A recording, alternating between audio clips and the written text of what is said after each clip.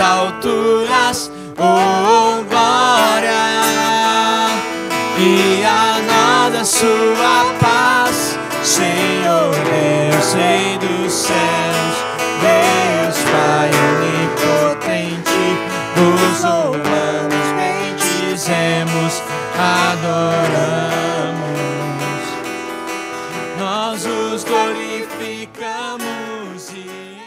O Signore esteja convosco. Ele está no meio de nós. Proclamação do Evangelho de Jesus Cristo segundo Lucas.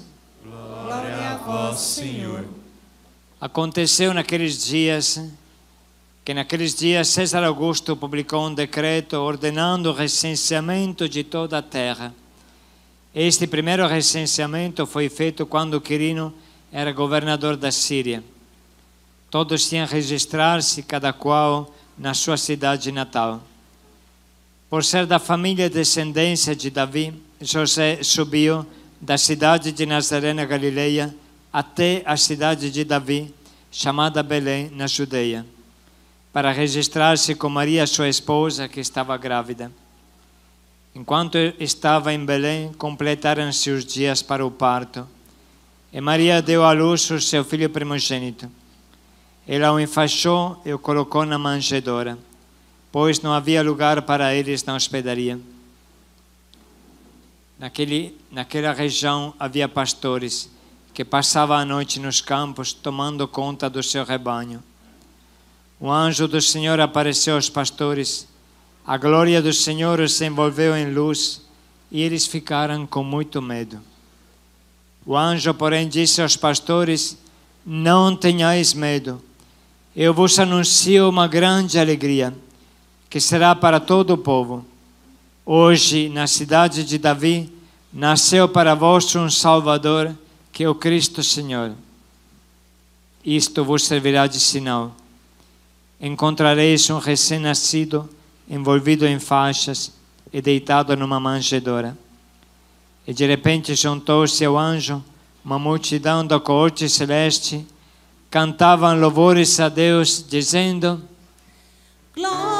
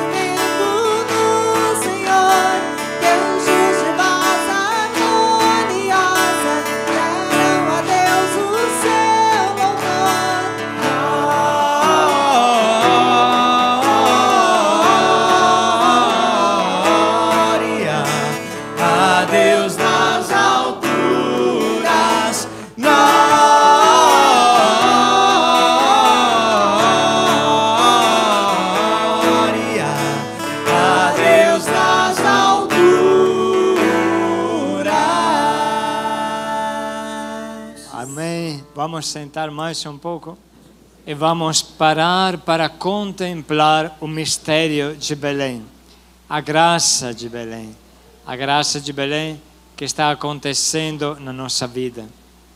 Como seria triste a nossa vida se não existisse este presépio na nossa vida? Como seria triste?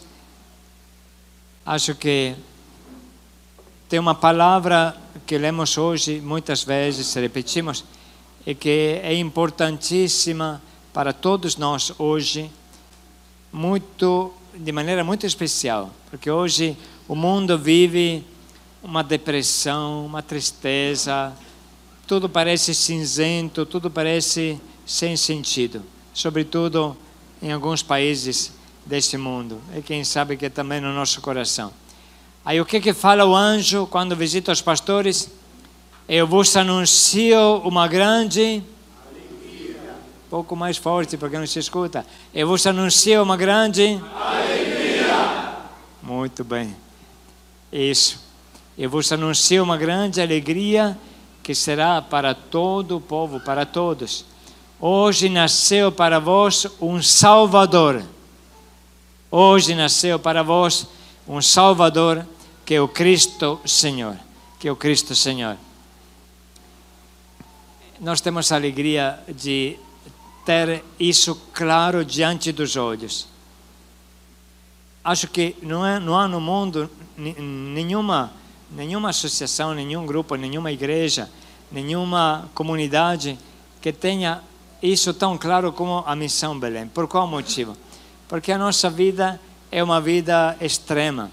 Aí você vai na Cracolândia, a gente chama a Cracolândia de gruta. Por quê? Porque a gruta, gente, não tinha nada de bonito. Aqui a gente vê tudo bem limpinho, né? tudo bem artístico. Mas pensa bem o que é uma gruta. Uma gruta, ninguém mora nela. Aí é uma coisa de animais, até os animais nem sempre entram na gruta.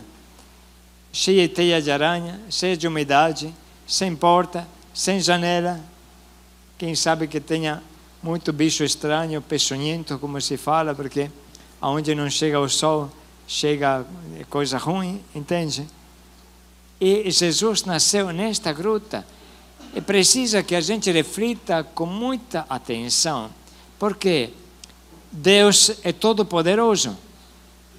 Claro, Deus é providência para cada um de nós. Cada um de nós poderia dar um testemunho de como Deus o ajudou na vida. Deus ajuda sempre, mas tem algum momento que você repara: puxa, Deus me livrou, foi um livramento, Deus me ajudou, Deus me guiou. Cada um de nós. Então, como é possível que Deus Todo-Poderoso, que pode tudo, que tem na mão o universo, com bilhões ou trilhões de galáxias, estrela nem se pode contar, e tem na palma da mão, como é possível que ele não tenha conseguido arrumar uma casa para ele? Você percebe que é estranho? Ele que pode tudo, ele que teve uma eternidade para pensar, Ele que é todo poderoso, que tem uma inteligência bem maior do que a nossa, parece que não conseguiu arrumar uma casa. Montou todo um esquema para que o filho nascesse exatamente em Belém, na cidade de onde tinha nascido Davi, que era uma cidade perdida, pequena, assim uma coisa que não quase que nem nos mapas tinha você pode perceber que Deus quis nascer em Belém. Deus quis nascer naquela gruta, não foi um acidente de percurso, foi uma escolha clara. E por que fez isso? Em primeiro lugar, esta gruta se encontrava no meio dos campos, os campos onde estavam os pastores. E olha, que eram pastores bem pobres, hein? porque normalmente o pastor que é dono do rebanho, ele pastoreia o rebanho durante o dia e à noite quase que ele coloca o rebanho no estacionamento, diríamos nós hoje. Ele levava o rebanho num, num regio, num, numa proteção, nas grutas daquela região e tinha outras pessoas que cuidavam do rebanho à noite. Aí de manhã ele chegava, chamava as suas ovelhas pelo nome e levava para fora, entende? Porém, estes pastores, também podemos chamar de pastores, não eram donos do rebanho. Eram gente muito pobre que morava nestas grutas e trazia as ovelhas para dentro para proteger, para passar a noite. Fazia da gruta um redil. Em uma destas grutas nasceu Jesus. Por quê? Porque era claro que esta gruta era um estábulo. Era um estábulo. Tinha uma manjedoura. O que serve uma manjedoura? A manjedoura é o lugar onde as vacas comem, coloca o feno. Percebe que a escolha de Jesus foi procurar o lugar mais pobre mais largado, mais abandonado que existia naquele tempo. Ele quis nascer pobre no meio dos pobres. Quem, quem aqui nasceu numa, num estábulo? Ninguém. E qual mãe que está aqui deu à luz no estábulo? Ninguém. Como Maria fez. Você percebe que Jesus quis descer mais embaixo do que todos nós. Jesus quis experimentar um sofrimento como ninguém de nós experimentou. Isso é que significa a gruta. A gruta, gente, ela é bonita só no, presépio. Quando você vai dentro dela, eu e Cacilda visitamos, junto com outros, aqueles lugares de Israel, da Palestina, a Gruta dos Pastores. Ficamos lá duas horas para fazer a nossa meditação. Vou, saímos da gruta brancos, porque aquela gruta é feita de, eh, de uma rocha que se esfarela sozinha. Tanto que você pisava no chão, parecia talco, é uma, uma nuvem de poeira, poeira embaixo, poeira em cima. Aí você ficava bem incomodado. Né? E Jesus quis nascer neste lugar, feio, sem porta, sem janela, sem água, sem... Claro que Nossa Senhora e José talvez limparam, fizeram o possível para, para dar um jeito, mas não foi fácil. Então, atenção, que a primeira palavra do Natal, expliquei ontem, é apuro.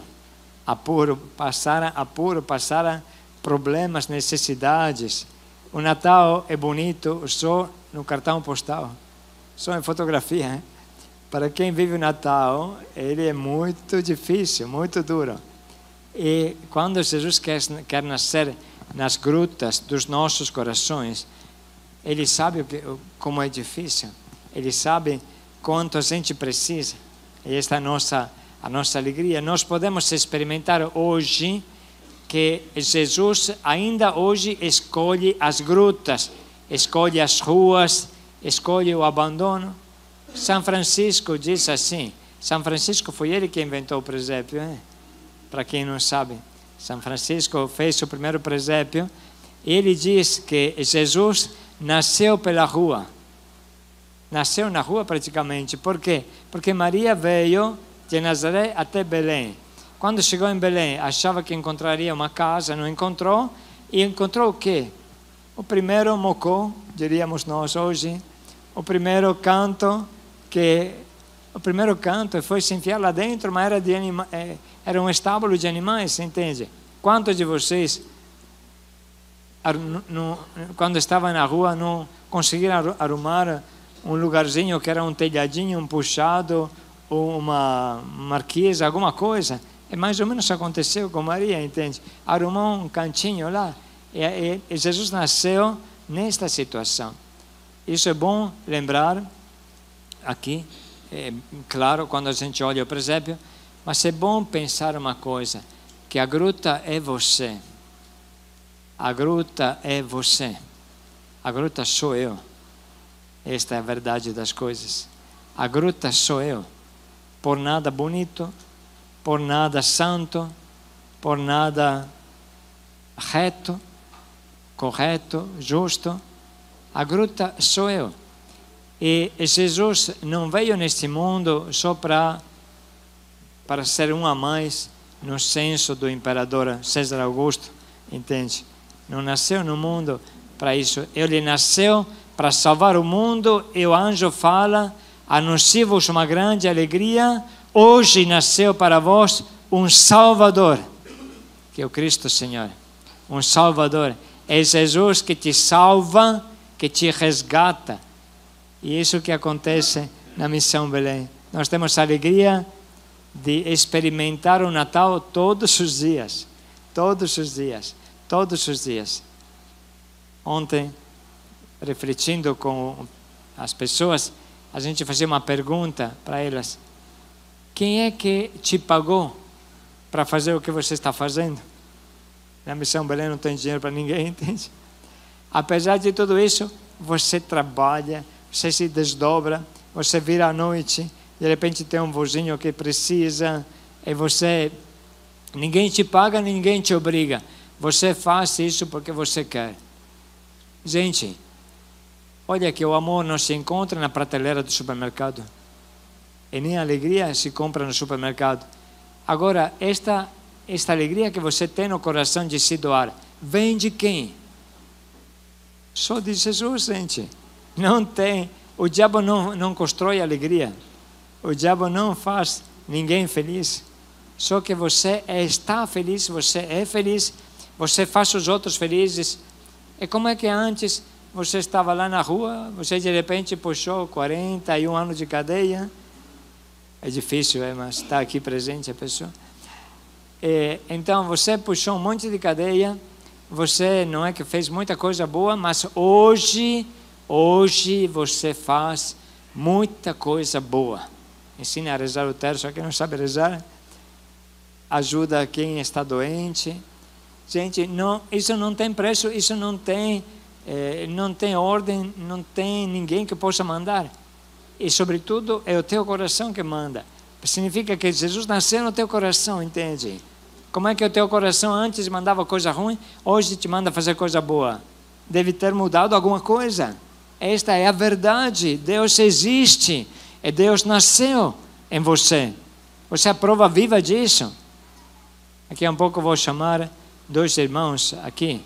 Acho que um é o Carlos e, o outro é Alberto e outro que não me lembro como é. Cláudio, Cláudio, eu confundi o nome. Venha aqui, por favor. Alberto e Cláudio. Cadê vocês? Isso. Venha aqui. Cláudio, que está aqui, que ele vive em Araceli, não é, Cláudio? Araceli. E o Alberto, que vem, vem desse lado aqui, Alberto. Ele do Pernambuco, é calorento, coitado. Sobretudo com esta camisa que é nova. É? que eles são batizados, têm que colocar uma camisa que nunca colocaram na vida. Mas é, não tem problema. Agora, eu queria que eles dessem um testemunho do que Deus fez na vida dele, do que Jesus está fazendo na vida dele. A gente sabe que os testemunhos da Missão Belém são todos é, bem, bem, bem fortes, assim. A Missão Belém, ela vive nas ruas, vive nesta realidade, então espero que ninguém se choque quando deve ouvir estas coisas. No, no nosso mundo, não é só eles, é, é muita gente. Porém, assim, quem não está acostumado pode até se assustar. Agora, o que eu peço é, para Cláudio e também depois para Alberto, que eles possam dizer como é que era esta vida na escuridão, o povo que andava nas trevas, quais eram as tuas trevas, qual era a tua escravidão, povo que andava nas trevas viu uma grande luz. Que luz você viu? E como é que você está agora? Mas antes, conta um pouco as tuas trevas, tá? Este testemunho. Ah, padre, as minhas trevas foi bem triste, né? Porque eu nasci com a minha mãe, meu pai brigava muito, né? E eu aprendi a beber rápido, né? Aprendi a beber servindo bebida para minha mãe, né? E aquilo foi, ah, Deus perdoe, a desgraça da minha vida, né? porque eu passei a minha vida inteira praticamente bebendo. E primeiro era a bebida, depois veio a droga. Eu comecei a roubar cedo, comecei a beber cedo, comecei a usar droga cedo, comecei a me prostituir cedo, entendeu? Foi quando a gente perdeu foi tudo em Amador Bueno, né? E fomos morar em Carapicuíba. Que aí foi quando começou o meu meu problema com o homossexualismo, entendeu? Foi pior ainda para mim, né? Foi pior ainda para mim, mas aí eu conheci uma mulher em Carapicuíba, né? E ela se apaixonou por mim, eu se apaixonei por ela, mesmo ela sabendo que tinha problema com homossexualismo. Aí a gente se casou, e ela era dona de biqueira em Carapicuíba, né? Então ficava droga, só que ela não gostava que eu bebesse, né? Ela proibiu de, beber, eu de, be, de bebida, né? Só gostava que eu usava drogas, né, maconha, né? E beber não, né? Porque ela sabia que eu bebia, eu ficava louco, né? E foi quando a gente foi e ela ficou grávida, né? No dia que ela ficou grávida, a gente estava muito louco a noite inteira, né? Ela falou para mim, no dia de manhã, ela falou, Cláudio, estou grávida. Aí eu falei para ela, não, você está louca? Se for meu, você pode dar para alguém. Entendeu? Falei para ela.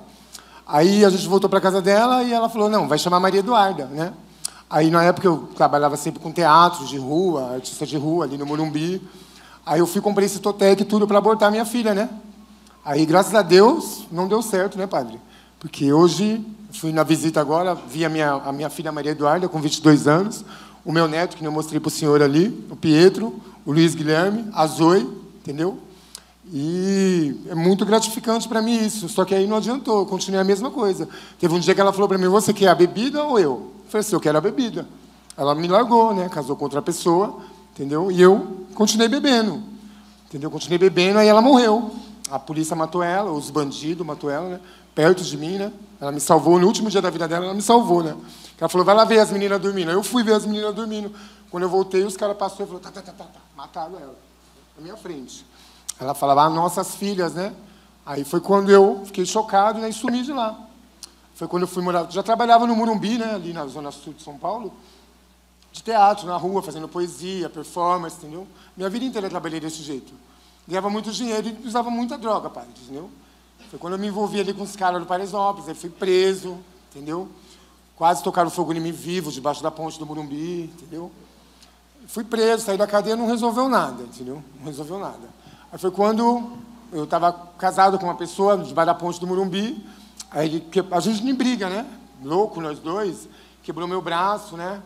Aí brigamos muito, aí ele o pessoal da pastoral do Murumbi passava lá um domingo sim, um domingo não, para poder levar. Um domingo levava café da manhã, outro domingo levava almoço.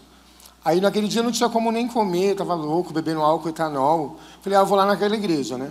Vou pedir ajuda, né? Fui lá, entendeu? Não conhecia a Missão Belém. Essa é a minha segunda passagem. Aí eles falaram, vamos lá, Cláudio. Eu fui não, bebendo álcool de posto, fui.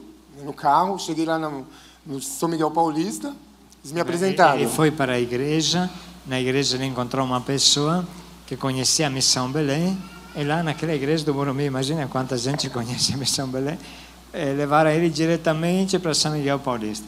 Isso. Aí eu passei a noite lá. Aí no outro dia eu tomei banho, tudo. Estava com o cabelo, o braço quebrado, me ajudaram. cabelo até aqui, eh, que ele Isso. sempre se lembra que na vida ele tinha esta esta atitude de homossexualismo, porém também ele casou, teve filhos. Mas então, como é que foi a tua chegada na missão? Então, aí eu fui para passei, recaí tudo, aconteceu tudo que aconteceu, agora eu voltei, né? Saí da cadeia faz pouco tempo, aí também recaí de novo, aí voltei para Missão Belém. Fui lá na Praça da Sé, estava na casa da minha irmã, também já tinha perdido tudo. Quando fiquei lá na Sé, né, o Sirineu da Sé lá, o, não lembro o nome dele, lá o vice Sirineu me ajudou, que eu estava tremendo muito, que eu não conseguia nem tomar café, eles me ajudaram. Aí me levaram para o Rio Grande da Serra. Eu cheguei lá no Rio Grande da Serra bem, sabe, daquele jeito, né, padre? Prefiro nem comentar. Aí o pai da casa, que ele está até aí presente, que é o meu padrinho, ele falou: Você não quer ficar aqui com a gente caminhando? Eu falei assim: Eu não, eu quero ir para Rainha porque ela tem duas piscinas. Eu já conhecia. Né? Aí eu peguei, e, sabe, eu sempre eu falei: Não, não, não, não, não. Aí me convidaram para lavar a louça lá. Eu falei: Eu vou ajudar a lavar a louça. Né? Aí eu falei para o meu pai da casa, que ele deve estar me assistindo, eu falei: Ah, eu vou ser frente junto com vocês ainda. Né? Aí comecei, gostei, todo mundo gostava de mim, sempre brincando, assim, negócio de teatro. E fiquei, padre. Foi passando um dia, dois dias, três dias, e eu, hoje eu amo ficar lá. Eu amo a triagem, eu amo partilhar com os irmãos, eu tiro a roupa do corpo para dar para o irmão, entendeu? Eu gosto, a roupa que vai jogar fora eu lavo, para dar para outro irmão. Até brigo com o pessoal que não gosta de doar as coisas, fala que eu sou muito chato nessas partes. E fiquei. Qual é o teu papel na, em Araceli? Que Na Araceli, eu. Ah, padre, eu, quando o cozinheiro vai para um retiro, eu vou para a cozinha. Quando eu preciso ir para o bazar, eu vou para o bazar. Quando tem que fazer um curativo, eu faço. Quando é para uma roupa, eu estendo. Que é para carpinar, eu carpino. Partilho, com os irmãos que ir embora. É, ele é, é mesmo Missão Belém. Mas é, conta um pouco, como é que você se sente agora? Você viveu tudo o que se pode viver na vida, você viveu no homossexualismo, você casou com uma mulher dona de biqueira, foi morta à tua frente, depois você puxou cadeia também. Você conheceu bem a vida sem Deus. hein? Aí você falou que na missão mudou mudou, acho, porque Jesus começou a nascer no teu coração. Fala como é que você se sente agora junto com Deus, com Deus no teu coração. Agora eu me sinto a pessoa mais feliz do mundo, padre. Porque eu pude almoçar com as minhas filhas. A minha filha não tem mais vergonha de mim, né? Que ela fazia uma festa, ela falava, não chama meu pai. Ela falou para mim, pai, não é para você sair de lá.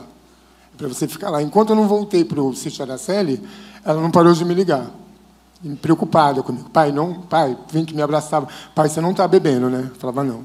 Aí meu neto perguntou, falou para mim, vô, você já parou de beber? Você vai voltar para casa? Isso para mim é gratificante, padre. Não tem palavras, entendeu? Não tem palavras, entendeu?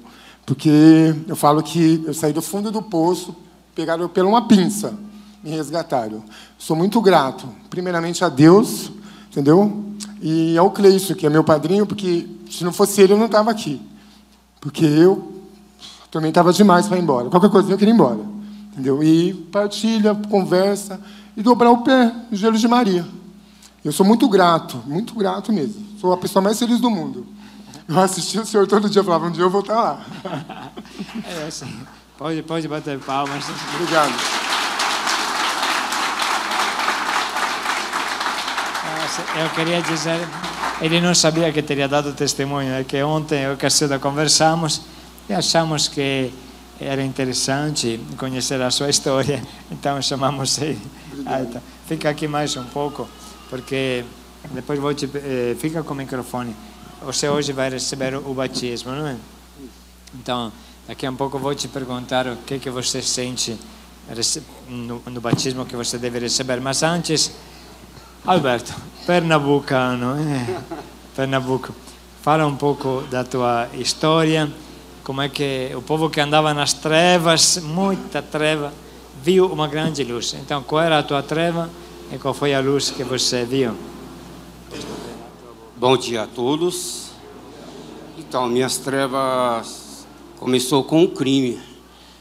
É, devido à vida violenta que eu, eu presenciava minha mãe levar, né? meu pai bebia muito no Pernambuco, eu era pequeno e ele, pelo menos umas duas vezes na semana, tentava matar ela.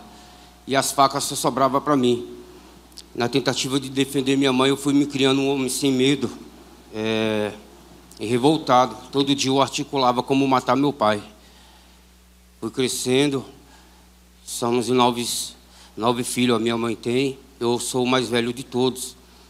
E eu procurava resolver, um, achar um jeito de resolver aquilo para que as maldades não sobrassem para o meu irmão também, para os meus irmãos, já que eu já estava aguentando as consequências. Fui crescendo, uma pessoa revoltada e a vontade de, de matar o meu pai não não passava. Pois bem, um certo dia ele trouxe nós para São Paulo, do Pernambuco para cá. Eu já cheguei aos meus 15 anos. Nesses 15 anos, no meio de uma violência dele, com uma agressão dele com a minha mãe, eu chamei ele para amarrar as camisas. Amarrar as camisas, para quem não sabe, no Pernambuco, é tirar as camisetas, amarrar uma na mão do outro, cada um segura uma faca e dali só sai o que fica vivo. Diversas vezes eu falei para ele que ele era frouxo, porque ele colocou uma cobra no mundo e não sabia. Que as facadas que ele queria dar na minha mãe, eu ia devolver tudo para ele. Ele não teve coragem de, de ir para a rua e amarrar as camisas comigo. Então eu reuni ele e a minha mãe e perguntei para eles qual dos dois eu iria enterrar primeiro. Que alguém ia ter que sair de casa. Meu pai saiu de casa, depois dessa eu acho que ele não ia esperar outra vez. E eu já embalei a violência, depois daí já me tornei uma pessoa muito ruim, entrei no crime, sem usar drogas. Eu trabalhava já também, mas mesmo assim eu trabalhava durante o dia e roubava à noite. Peguei gosto pela maldade. Eu tinha prazer de ver os outros chorar, sofrer, fazer apavorar mesmo, cara. E fui me tornando muito mal. Nunca tive dó de nada, nem de ninguém, nem medo de nada. Eu não tinha medo de nada, que é tanto que eu desaforava os dois lados. Eu falava que se Deus e o diabo existissem, eles resolvessem a confusão deles para lá, me deixassem fora, que a minha vida eu fazia. Isso daí eu fui apanhando muito na vida, cara, por causa do desaforo com os dois lados. E o que, que acontece? Eu, a vida do crime me levou à droga, e a droga me levou a mais violência, e chega ao ponto do o pior, né, que é o homicídio. Um deles cometido na esquina, no, na esquina da rua de trás da minha casa, aonde tem uma padaria que toda vez que eu ia comprar o pão eu via a pessoa que eu tirei a vida lá no, naquela encruzilhada Isso me perturbava todos os dias, todos os dias. Foi um dos motivos que me levou até a missão. Foi isso, porque é terrível. É terrível, as lembranças não saem e não dá mais para voltar atrás. Né? E eu, então eu, eu resolvi procurar a missão para tirar essa, essa assombração de cima de mim e conhecer a Deus, porque parar de desaforar, porque já que eu não, consegui, não, não acreditava nem em um nem em outro, eu preferi primeiro procurar ver se Deus existia e procurei a missão. Quando eu fui entrar na missão Belém, eu vi um semblante de uma coisa muito feia falando assim para mim que ali não era meu lugar. O que, que eu ia fazer ali? Então, mesmo assim, eu, eu entrei. Durante três dias, esse, essa imagem que eu via, eu reclamava, reclamava, chorava e falava que eu tinha que sair dali porque ali não era meu lugar. Então, depois desse tempo, eu percebi que o mal que eu fiz para alguém me acompanhava, que ali agora era meu lugar, que eu não ia mais fazer mal para ninguém e procurar minha salvação, e eu encontrei. Explica melhor. Então, ele, esta tentação que falava vai embora, vai embora, ele pisou em cima da serpente, matou e ficou na missão. Diga um pouco, porque ficar na missão não é fácil, como é que, por que você ficou, o que você encontrou na missão e o que você está fazendo agora? Bom, hoje eu comecei aqui, na Santa Mariana. Eu vim como pastor. Aqui eu fui acolhido encontrei a Deus. Aquele coração violento já não tenho mais, graças a Deus. Tenho uma imensa satisfação. Sou pai de casa. Agora estou na Bom Samaritano, aonde eu cuido de, de 22 pessoas no total, são 12 vozinhos, o resto são acolhidos, né, meu, o pastores e dou ajuda em outra casa também. Eu tenho um imenso prazer de, de ensinar os meninos a trabalhar com os vozinhos, né, limpar os vozinhos, levar tapa na cara quando eles é fato. E agora sim encontrei a Deus. Para, para o menino pensa, ele naquela violência toda, ele foi parar na Bom Samaritano, para quem não conhece a Missão Belém, Bom Samaritano é uma casa de vozinhos difíceis, assim, muito confusos, assim, que, que bate, porque é o costume deles. Então, ele que não levava desaforo para casa, agora apanha todo dia dos vozinhos, tem que trocar fralda, tem que fazer tudo o que tem que ser feito. Como é que você se sente? Na verdade, eu não consigo explicar o que eu estou sentindo nesse momento, cara. É, primeiro que os nervos estão tremendo tudo. e, cara, uma alegria imensa, assim, sobe, sabe? É como se um, é, um furo no coração de amor, cara. Um sopro de, de uma nova vida está, está dentro de mim agora. Eu não consigo explicar para vocês, mas eu sei que é muito bom. Obrigado.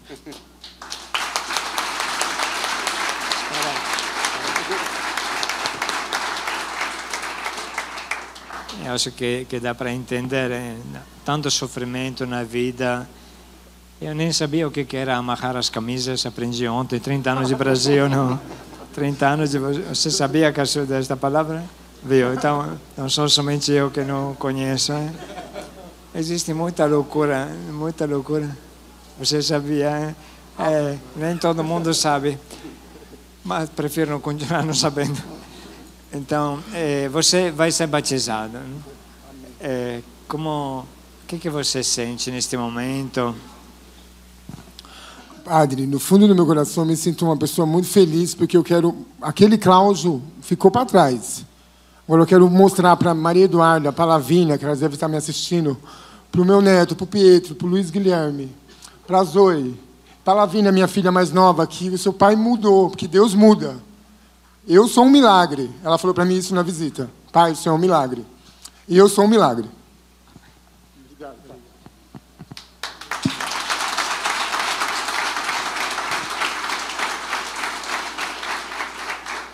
Você, você vai receber a primeira comunhão, porque olha como é.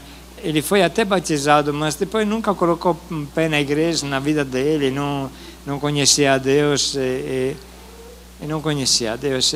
Agora você vai praticamente entrar de novo no, no serviço de Deus, vai poder comungar o corpo de Cristo. O que você sente no coração?